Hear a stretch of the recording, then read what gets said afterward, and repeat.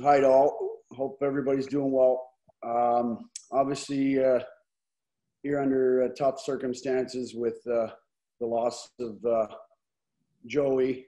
Um, condolence to uh, his family and uh, obviously all of Canada, not just Edmonton. Obviously, he was so instrumental with the Oilers and the Eskimos, but we are truly saddened by this, and you know, it uh, it's obviously uh, an inspiration that he was in that locker room, all the way out into his seat in the in the stands, and uh, he'll never be forgotten for sure. And uh, just uh, it's a sad, sad day in the hockey world. Jason, go ahead. Hi, folks. Uh, it's a pleasure to be on here and obviously uh, talk about uh, Joe and wish his, his family condolences. I think uh, being around Joe and, and having an opportunity to to spend years with him was was very special. I think uh, what he brought to uh, the Oilers organization as well as the the football team was very special, and to to be um, a part of watching him uh, watching him grow. And I think uh, what he passed on to, to us all was how, how positive a life is. And, you know, there, there's never a bad day when uh, you're doing things that you love. And, and that was something that was uh, one of the greatest memories of Joe was just his, his positivity and, and how he, uh, how he went about his, his daily business and uh, wish his family the best and all the fans and uh, support that he, he's gotten from from around the country is uh, very special and, and something that it's great to see him recognized for uh, the legend that he was. Thanks, Jason. Sam. Hey guys, uh, yeah, thanks for having me on. Um, you know, just kind of echoing uh, what uh, Jason Ryan had to say. I think, um, you know, Joey is one of the the the best uh, men I've ever had the chance to get to know. Um, just the way he uh, he he lit up a room, and um, he he was such a positive spirit. Um, you know, I think you know as much as it's a really sad day, um, you know, I think just getting a chance to celebrate uh, his life and um, you know everything he was able to accomplish and the impact he had on people. Um, it, it's something that's really important. Uh, you know, I think that you know, obviously the circumstances aren't great uh, right now because, um, you know, if if the borders are open and things are open, I think we'd probably have a million people at this at this funeral um, celebrating Joe and. Um, you know, condolences to his family, uh, to to everyone that um, you know he had a chance to touch their lives. I mean, uh, just having a chance to to talk to to certain teammates and uh, you know trainers that have been around him his life was so impactful. He lived such a full life, and um, you know, I, I, am so happy to see that kind of out, outpouring of support. Um, and you know, he deserves it all. So, uh, just uh, you know, thanks for having me on. I'm happy to be part of this. Thanks, guys. Those are all great thoughts on Joey. Uh, we'll open up to questions now. So again, if you have a question, please raise your hand. And if you have multiple questions, I'll leave you open for a follow-up. So we'll start with Rob Tychkowski from Post Media. Rob, you can go ahead. Hi guys, thanks for doing this. Uh, if one or a couple can you uh, you can kind of visit this. It's kind of a, a, rite of passage for every player who who joins the Oilers. You you, you roll into the dressing room and you know you know this is Joey Moss and you know he's probably going to be uh, working for this team longer than anybody else. I just wonder what everybody's first reaction is because some people when they see a handicapped person for the first time they they don't know how to react. They don't know how to get comfortable. What was it like seeing him for the first time and how long until you were totally comfortable uh, being around Joey? Anybody? Go ahead. I'll go. Uh, well, I think just the first time I got to meet Joe was was probably the day I got uh, traded and, and welcomed into the Oilers locker room between between Joe and Sparky and, and Sliver and Barry Stafford and Kenny Lowe. The welcome was great, but uh, to see the excitement in Joe and welcoming someone new uh, made it very family-like. And I think uh, Joe was a huge part of of that family, and I think that's something that the Oilers have always uh, been is is a very family oriented team, and and uh, he he brought a smile to your face. He was happy every day. he enjoyed what he did, which which made it uh, you know very easy for you as a player to come into that room and start your day off of coffee with coffee with Moss and, and go from there. It was uh, it was great to be around him every day, and it was uh, just very very welcoming every time you walked into the room. Smitty, you wanna you wanna go or? Go ahead, bud. I- Yeah, um, yeah. I think um, you know my first memory of Joe. Um, uh, the first kind of inter squad game every year is the Joey Moss Cup, and he comes out and sings the anthem. And um, you know, I hadn't, uh, you know, being a young guy and uh, not being around, I, I I didn't know much about him. And then you see he comes out and just belts both anthem, both anthems, and you know, in front of all those people, and there's there, there's no fear in them, and uh, you know, you look around and the guys that have have been around him a little more and had been around the team, and you, you can just see them beaming with pride that they're, you know, friends with Joey, and um, you know, I, you kind of know at that moment that you're part of something special, and uh, you, um, you, you know, you're you're just relish, relishing the opportunity to get a chance to get to know Joe. So I think it was funny for me. Uh, I came in as you know a, an 18 year old, and uh, you know I think the, the older guys would give it to me, and Joe picked up on it. I think as a, and he was he used to just give it to me all the time, and um, I, I lived for that banter. Uh, coming into the room uh, in the morning and just seeing Joe, and you know having a coffee and just like you know it, it was just a, it was the best times ever uh it's something i'll i'll cherish forever and uh it was just a ton of fun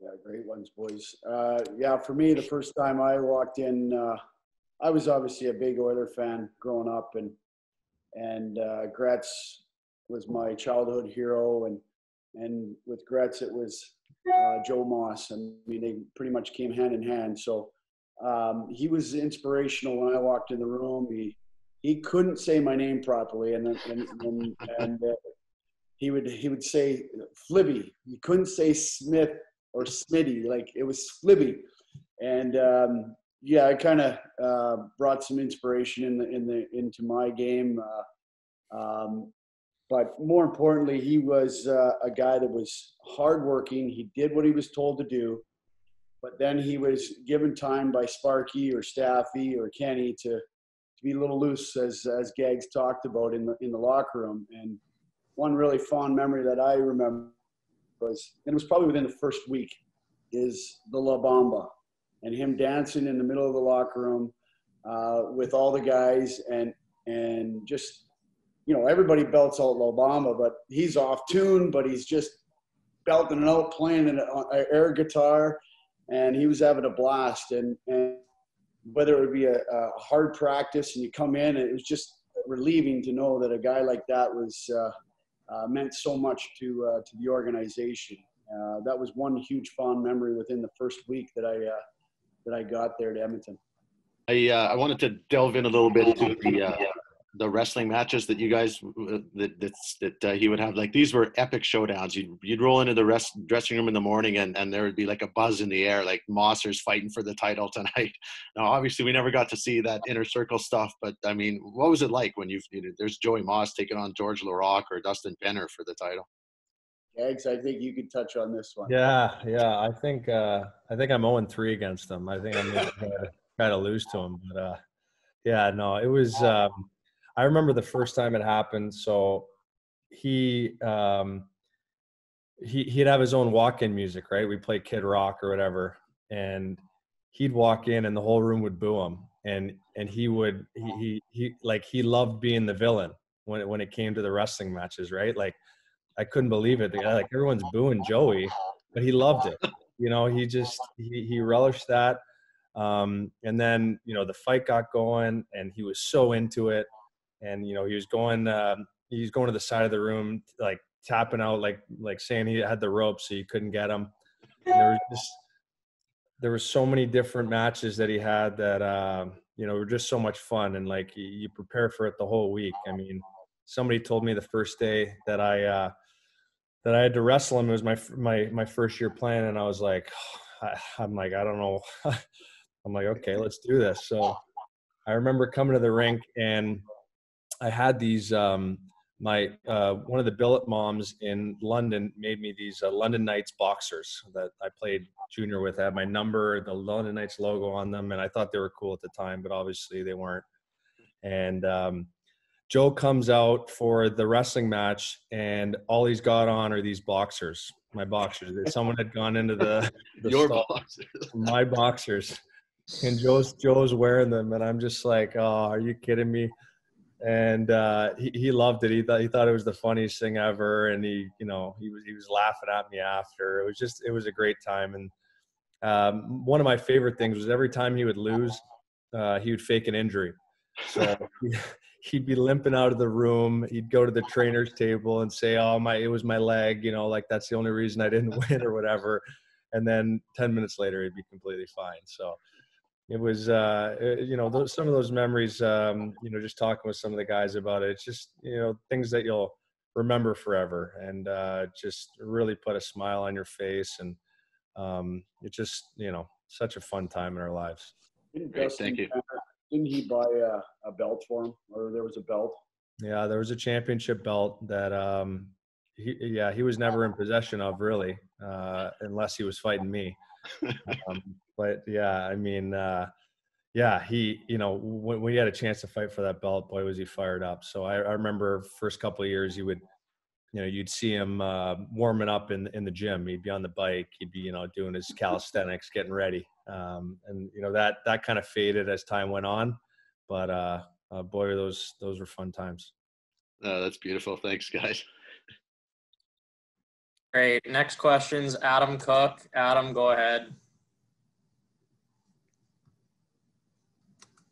My condolences, guys, on on the loss of your friend. Um, I, I wanted to ask you, all of you guys left, and then you you know you, you come back, whether you're you're back with the Oilers or you're with a different team. What was it like when you when you reconnected with Joey after kind of spending that time away? What was it like? Yeah, yeah, I think you just pick off, uh, pick up where you left off.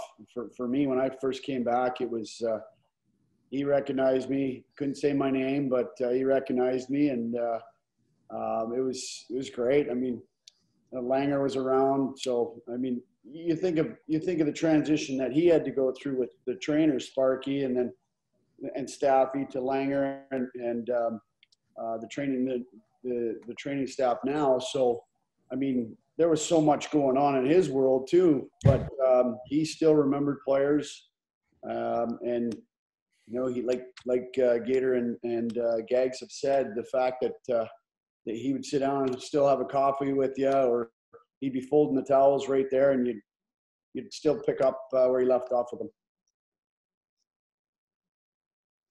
Yeah, very much the same here. I think uh, you know when you come back there, once you're an Oiler, you you were always a part of that family, and and, and Joe never let let that go by. I think there was there was many times when, as an Oiler player, you were sitting in in the locker room getting ready for a game, and Joe might not have been around because he was down hanging out in the visitors' room, you know, socializing with old teammates or or old former players and you know, some of the memories I have were when when Bucky came to town, or, or Dougie Weight, or, or Billy Guerin, he would be down in the visitors' room, and we'd have to check and make sure that uh, he was uh, cheering for the Oilers that night, and not cheering for the other team because his buddy was down the hall. But he always came back to to the Oiler room and uh, definitely supported uh, the uh, the Oiler group more than, than any other group out there. That's for sure. Yeah, no, my my favorite thing. I mean, uh, just touching on on that a little bit more. Um, you know, like the Oilers meant so much to him. Uh, being part of that family meant so much to him, and um, you know, he he was such a loyal guy. So, you know, there was times you'd come back and you go to take a picture with him. You try and sneak. Uh, you know, when I first got traded to Arizona, you try and sneak a Coyotes hat on him, and there was there was none of that. Um, you know, he was he was Oilers through and through. Um, you know, I think uh, the the one thing for me, I, I every time I came back with an opposing team, I'd be like, guys, do you guys know anything about Joey? You you got to meet Joey. So I would, I, you know, I'd make sure that the trainers would bring him over and and he'd get a chance to interact with the other teams and. Um, you know, he's just uh, such a great person to have around, and you know, no matter what's going on in, in your season at the time, there's a lot of ups and downs that that happen throughout an NHL season.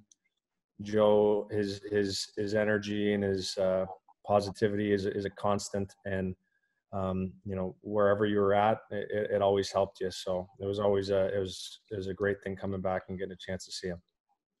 He was the common link, obviously, for generations of Oilers players. I mean, he was always the mainstay. He was always there. You could count on it. And people are asking, what's going to be the proper tribute for a guy like this that just had such a dominating presence in Edmonton and especially in the Edmonton sports landscape. And Gretzky was saying today, it's got to be something that'll stand the test of time. What would you like to see as a tribute for Joey, whether it be a statue? What do you guys think is fitting? Yeah, there's so many things under the sun that you could uh, be, that he could be recognized for sure. Um, to me, I think um, he came in with Gretz and he goes up with Gretz as far as the banner. That would be my uh, my opinion. But uh, you know, even even into the city itself, uh, the city of champions, you come in and there's a statue of him.